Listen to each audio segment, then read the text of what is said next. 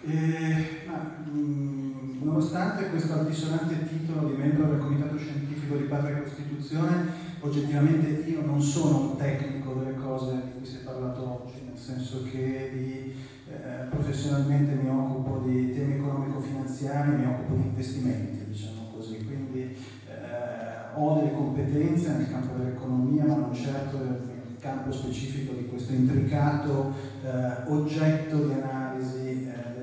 seminario, del momento diciamo, formativo, informativo e anche politico di oggi.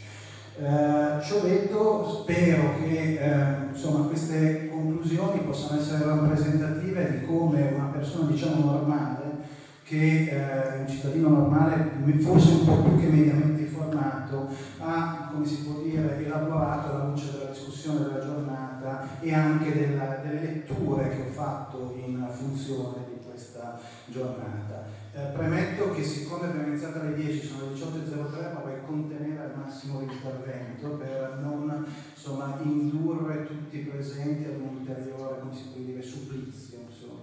Ad ogni modo, il, eh, io penso che ci siano dei punti, cioè vorrei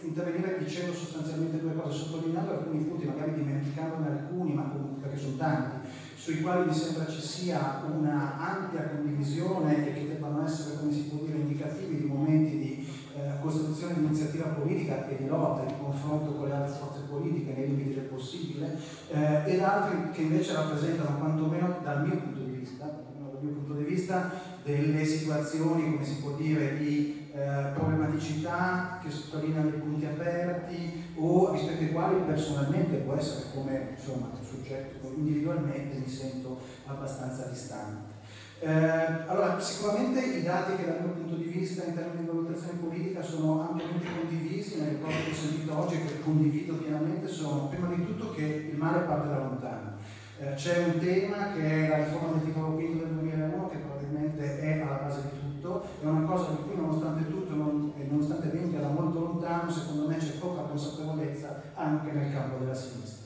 Quello che si disegna diciamo, nelle modifiche dei citati articoli 117, 116, 117 e 119, che sono parte delle modifiche del titolo quinto, è sostanzialmente una disposizione predisposizione di una fattispecie di un'autonomia alla carta in cui ci può essere una regione che eh, si assume una responsabilità, un'autonomia su determinate competenze e una regione che se ne assume su altre, con, facendo diciamo, la combinazione delle 23 materie per le 20 regioni vengono combinazioni in cui uno Stato salta per definizione, cioè qualunque mente organizzativa di una sovranità unitaria penso che di fronte a questo scenario dovrebbe dire abbiamo fatto un disastro. E fa male pensare che questa cosa sia stata costruita sugli ultimi giorni, diciamo così, prima della campagna elettorale che ha visto peraltro soccombente la sinistra, da quello che fu il centro-sinistra che fu. Eh,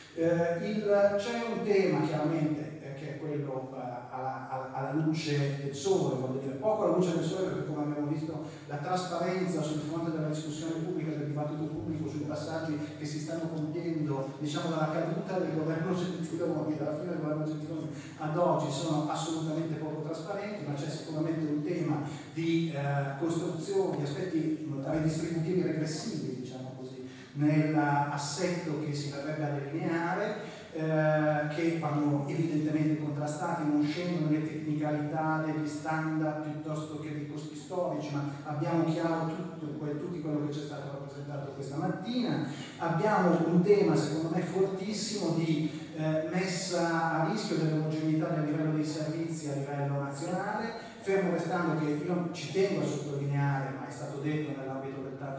dedicato alla sanità, che siamo già in un contesto in cui il Servizio Sanitario Nazionale è, come si può dire, suddiviso in 20 servizi sanitari regionali, che sono molto diversi in termini di qualità delle prestazioni e il tema citato del turismo sanitario mi sembra che con anche le ricadute, diciamo, anche nell'indotto che hanno sui vari territori sia molto, molto importante cui partiamo già da una situazione negativa che è orientata a diventare ancora peggiore. Abbiamo un tema da contrastare che è quello della regionalizzazione della scuola, io continuo a pensare eh, da vecchio, come si può dire, non so cosa, comunque per me è difficile anche qualificarsi, comunque che il tema della, di, una, di, di, una, di, una, scuola libera, indipendente, unitaria, con un momento di accesso alla cittadinanza da parte di tutti eh, i cittadini paese debba essere garantita e abbiamo un tema di aspetti, come si può dire, di corsa ribasso sugli standard ambientali eh, che ci è stato secondo me molto bene rappresentato dal collega di eh, Lega Ambiente. Ecco, io direi che questi sono i punti, se dovessi fare come si può dire, una, una, una, una classifica dei punti chiave, delle cose sulle quali penso che il motivo per cui siamo tutti qua eh, è quello di costruire una battaglia politica per rendere, come si può dire, eh, contrastare questa tendenza sono questi. Poi, detto ciò, io penso che eh, forse gli elementi di riflessione più analitica, più puntuale, più dettagliata e anche secondo me di problematicità ci sono. Il primo punto è che bisogna partire da un dato di realtà, cioè qui nonostante tutto oggi su questa bella iniziativa che ha visto anche persone assolutamente autorevoli, eravamo nel momento di massima affluenza 50 persone, su un argomento che dovrebbe interessare tutti, ma mi sembra che già nel nostro interessi poche persone e nell'ambito del quale sappiamo benissimo che ci sono stati dei referendum in tutte le regioni del nord, sicuramente in Veneto e Lombardia, diciamo così, eh, e eh, nell'ambito del quale la, queste proposte sono passate, per cui cioè, questo è un problema. Cioè bisogna partire da un dato di realtà che noi dobbiamo esercitare una controegemonia rispetto a un'egemonia che non è nelle nostre mani e questo è un tema importante. Per cui sicuramente, e poi c'è anche un tema, come abbiamo visto, che questa, questa, questa, questa come si può dire, che c'è una sorta di ineluttabilità di un processo in atto che va verso queste forme, diciamo, chiamiamole di devoluzione, tra virgolette, per capirci, eh, che è guidata da una sorta di inerzia politica trasversale, perché abbiamo visto perfettamente che ci sono anche regioni guidate da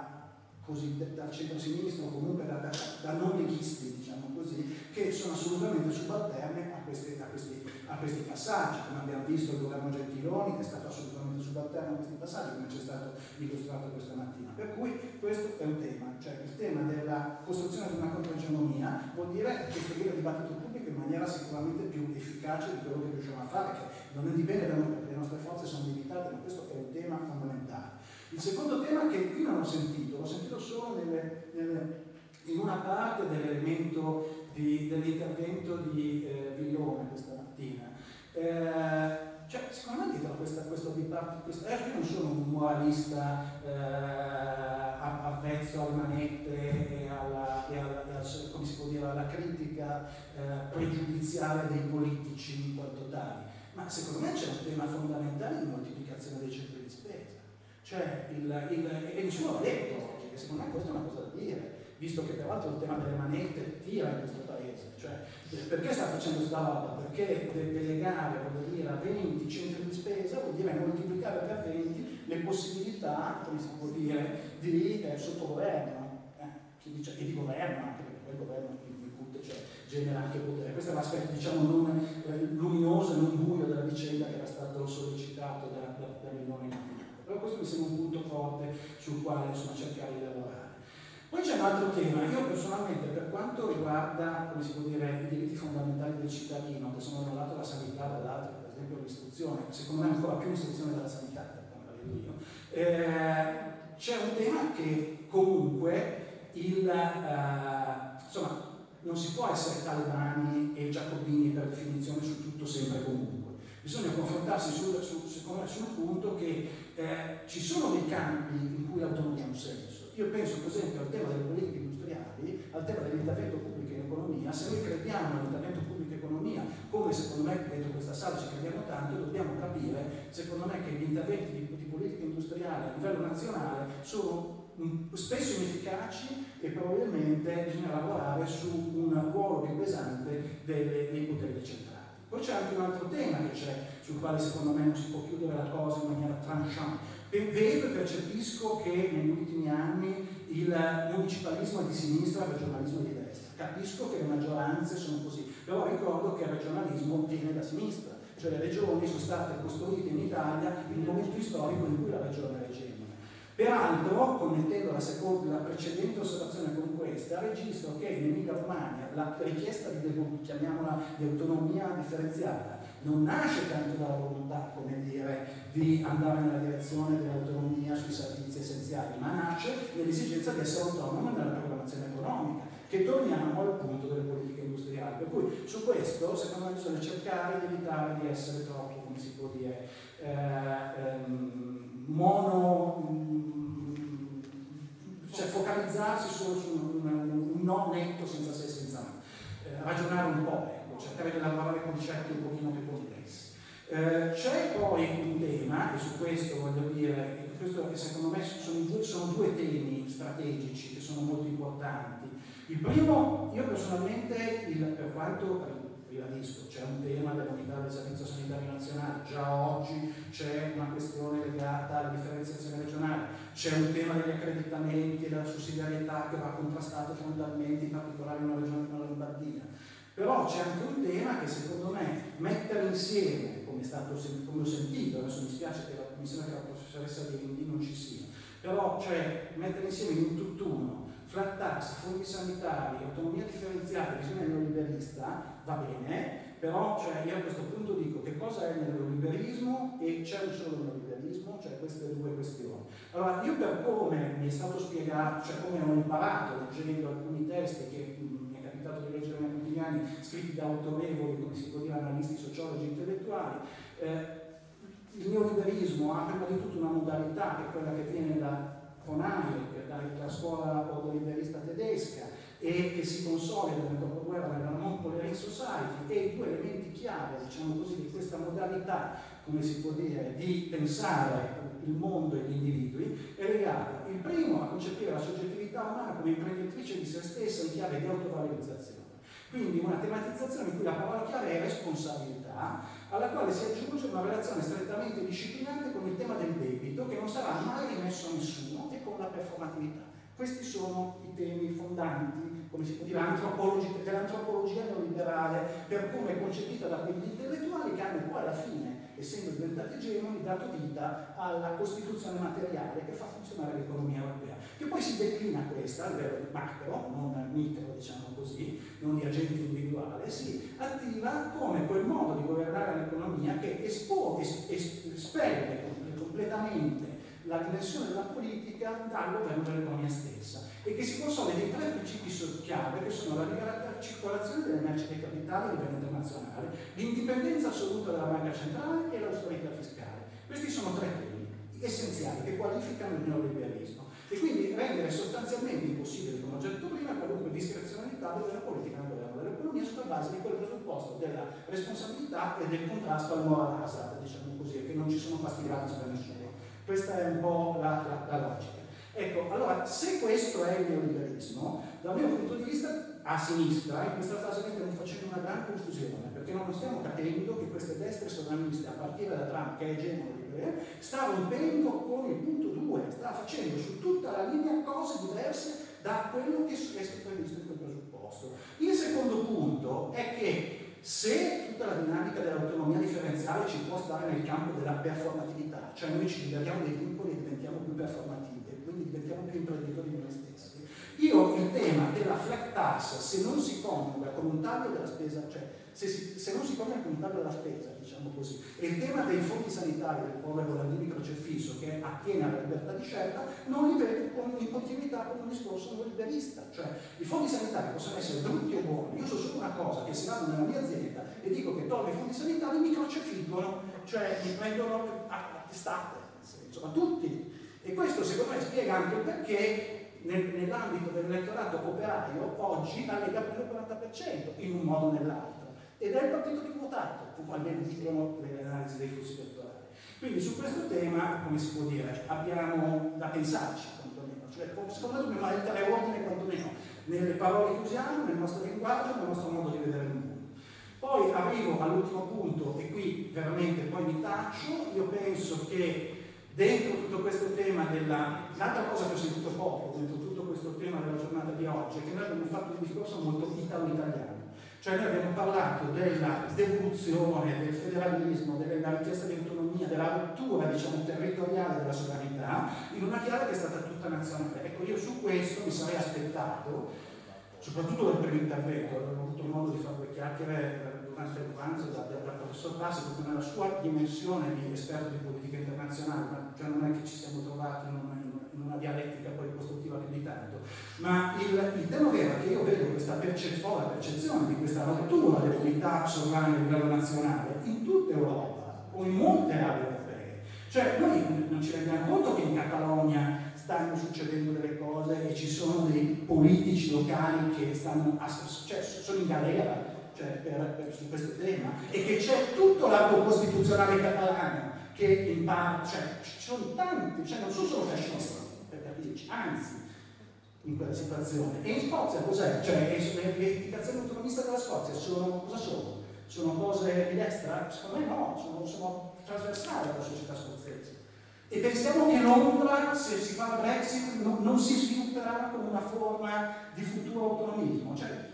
c'è gente che pensa già a Londra città-stato fuori dall'Unione della, Gran Bretagna se c'è il Brexit. Cioè è, è, è una tensione quella che, di cui è espressione, eh, di cui espressione eh, questa domanda di maggior autonomia, federalismo ed evoluzione che in Italia è in essere da parecchio, da parecchio tempo. E, e, queste, e, queste, e, queste, richieste sono,